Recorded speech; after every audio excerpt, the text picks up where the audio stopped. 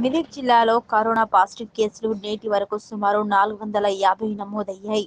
జిల్లాలో ఇప్పటి వరకు పదహారు మంది కరోనాతో మృతి చెందారు. నిన్న మొన్నటి వరకు మనతో ఉన్న వ్యక్తులు కరోనా పాజిటివ్ రాగానే బంధుమిత్రులు ఎవరు కూడా వాళ్ళకు ఫోన్ చేయాలని కానీ కనచూపు మేరలో కూడా స్నేహితులు కనిపించడం లేదు. ఇటీవల జిల్లా కేంద్రంలో కొన్ని సంఘటనలు మనస్సును కదిలించాయి.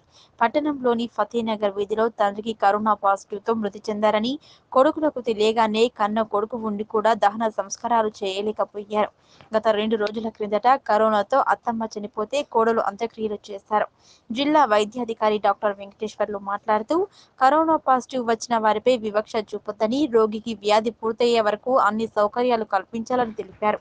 కానీ ఇటీవల కరోనా వైరస్తో చనిపోయిన వాళ్ళని మృతదేహాన్ని అంత్యక్రియలు చేయలేకపోవడం హేయమైన చర్య అని తెలిపారు. కరోనాతో చనిపోయిన వారిని అంటరానితనంగా చూడొద్దని సూచించారు. రిలేషన్లో ఇంత చుట్టాల దాంట్లో చనిపోయినా కానీ కరోనా గురించి పాజిటివ్ రాగానే ఏదో భ్రమలో పడిపోయి వాళ్ళకి ఏదో అయిపోయింది వాళ్ళకి చిన్న చూపు చూడడం అలాంటి జరుగుతున్నాయి కాబట్టి కరోనా వచ్చిన వ్యక్తికి మనోధైర్యం ఇచ్చి ఈరోజు వాళ్ళకు ఏం కాదు అంటే కేంద్ర రాష్ట్ర ప్రభుత్వాలు మనకు ఆదుకుంటాయనే ఆ ఒక సూచనలు ఇచ్చి మనోధైర్యం ఇచ్చి ఈరోజు వాళ్ళకు చెప్పాల్సిందిగా కోరుకుంటూ ఒక పాటతోని అంటే కన్న కన్న తండ్రి ఈరోజు చనిపోయినా కానీ సొంత ఫ్యామిలీలలో సొంత ఫ్యామిలీలలో ఈరోజు దాన సంస్కారాలు చేయలేని పరిస్థితుల్లో అసలుకి ఈరోజు కొన్ని కుటుంబాలు ఉన్నాయి కాబట్టి అలాంటి సందర్భాలలో ఒక తండ్రి తండ్రి కానీ అమ్మ కానీ పడే ఆవేదన గురించి ఒక పాట.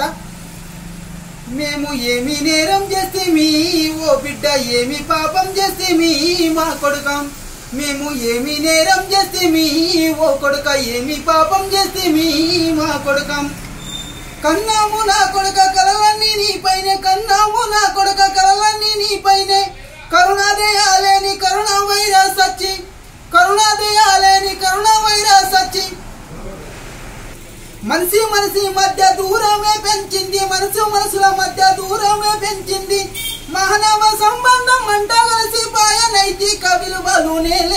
లేకాపాయే ఏమి ఏమి మేము ఏమి నేరం చేసి మీ ఓ కొడుక ఏమి పాపం చేసి మీ మా బిడ్డ ఏమి నేరం చేసి మీ ఓ కొడుక ఏమి పాపం చేసి మీ మా కొడుక.